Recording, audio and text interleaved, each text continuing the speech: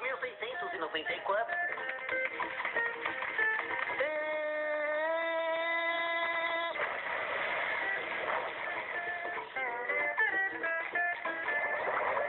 Acende disse para limpar com cuidado essa coleção de artefatos raros e frágeis duas vezes por dia. Não tinha nenhum pó em lugar nenhum.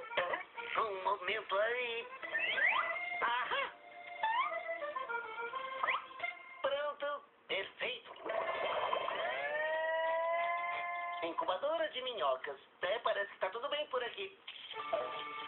O quê? Ah, Ela disse que não iam eclodir por semanas. O que está acontecendo? Ei, Assim?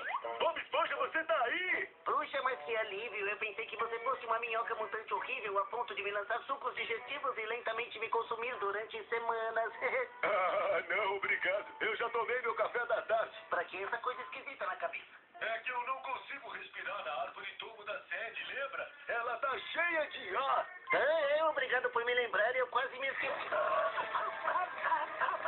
Muito obrigado por me ajudar, mas não consigo respirar. Prontinho!